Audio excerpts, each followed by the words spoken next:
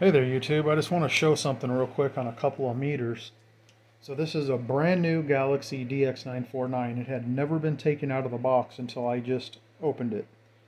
It has never been powered up, never been opened anything. Here's, here's the box right here. Here's all the packaging. 100% brand new. Nothing has ever been messed with. Guaranteed. Um, I'm going to use this microphone on it because it's in the drawer. That's what I use for all of them. So what I want to show on here is pretty interesting. It really has nothing to do with the radio. I'm just using this radio because I know it's a brand new, unmolested, 100% factory radio. I looked up the specs per Galaxy, and they claim that the um, the PEP power you can get out of one of these stock. I believe they said 13 watts. That's what I think it showed 13 watts. It also stated, I believe it stated the RF power. I believe it was half, either half, I think it was half a watt all the way down and approximately three and a half watts all the way up. I know it's going to vary from radio to radio. But we got the mic gain all the way open, RF power all the way down. This is going in the dummy load.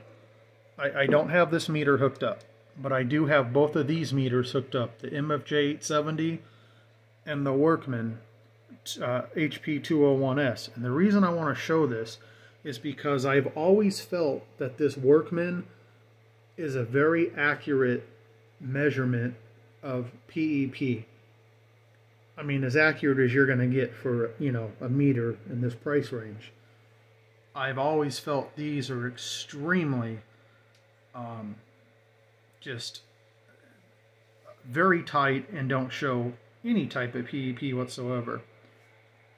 You know, I've had a lot of people tell me this is all fluff. You know, I've even called MFJ and tried talking to them, and they assure me these meters are 100% accurate. And you know what?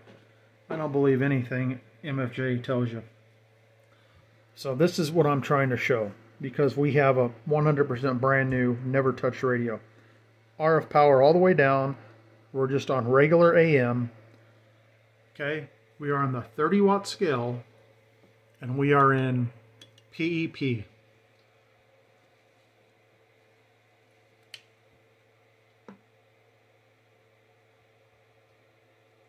About three quarters of a watt.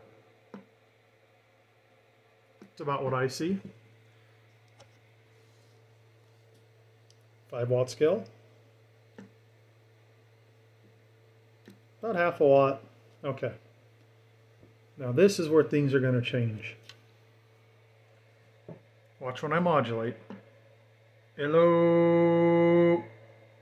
Hello. And guys, I'm right up in the microphone. Here we go. 30 watt scale, bottom scale. Hello. Hello. You really think it's possible for a radio, brand new out of the box, when you're hollering in the mic, to only do one watt PEP? Hello. Now let's look at this one. 5 watt scale. Hello. Or wait, are we on the 5? Yeah, we're on the 5 watt scale. Hello. Hello. Well, you know what? They're doing about the same thing, aren't they? That, uh, that actually shocks me. Okay, now. I'm going to turn the, this where things are going to get crazy. I'm going to turn the RF power all the way up.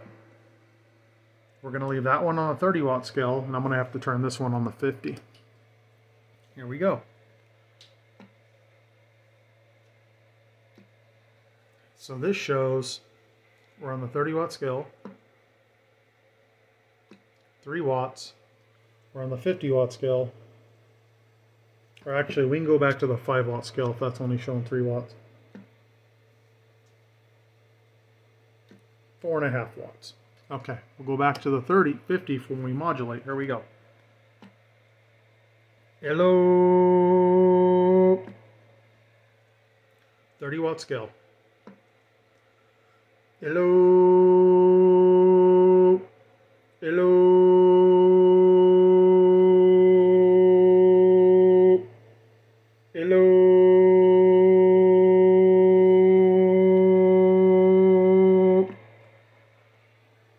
Looks about 13 watts. That looks about what the factory says is correct there. Hello. It peaks at 15, but it drops back. Hello.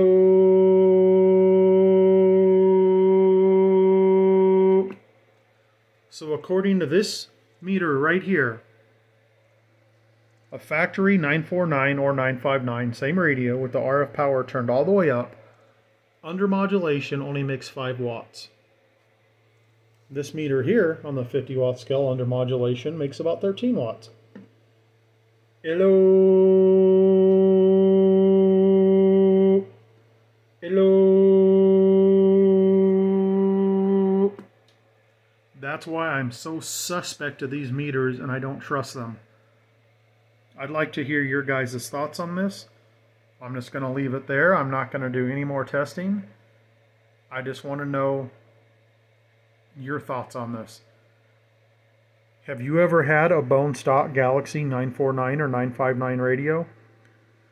How many watts PEP did you see out of it? Did you only see 5 watts PEP?